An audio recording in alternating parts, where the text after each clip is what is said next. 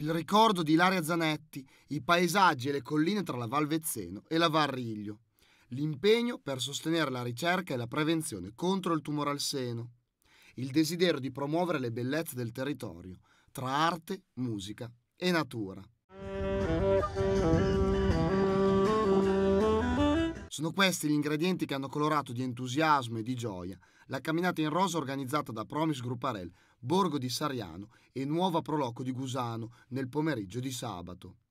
Circa 700 le persone che hanno risposto presente per vivere insieme ad amici e parenti un'esperienza unica diventata speciale, grazie a Maurizio Marchioni con la sua chitarra classica, Alberico Barabaschi e il suo sax, e DJ Cave che ha trasformato l'ultimo ristoro in una vera e propria discoteca nel bosco.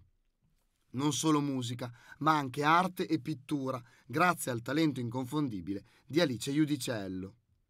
L'intero ricavato dell'evento, che si è sviluppato tra Sariano e Gusano, verrà donato ad Armonia, associazione che da oltre 30 anni è impegnata nella sensibilizzazione e nella lotta contro il tumore al seno.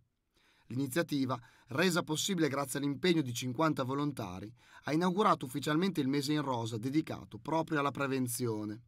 L'assegno sarà consegnato giovedì 7 novembre nella sala consigliare del comune di Gropparello, dove si terrà un incontro con il dottor Dante Palli, direttore della chirurgia senologica dell'ASL di Piacenza, con al centro l'importanza di mantenere corretti stili di vita e la promozione di diagnosi precoce e prevenzione.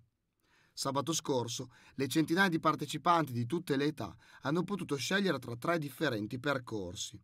Il più lungo approdava alla festa delle castagne di Gusano, che anche quest'anno ha riscontrato un grande successo di pubblico.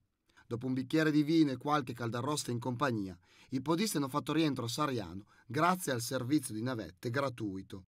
I sorrisi e i cellulari pieni di fotografie dei partecipanti rappresentano la firma della buona riuscita dell'evento. Il prossimo, targato Promis Grupparel, sarà la festa di Halloween il 31 ottobre in Piazza Roma con la collaborazione di Castello e Bar di Gropparello.